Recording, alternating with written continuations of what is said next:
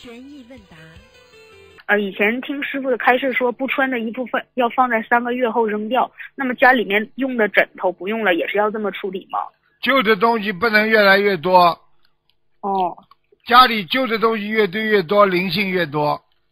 哦嗯，所以很多老妈妈一辈子病，人家说生病的，哦她为什么什么都不舍得扔的？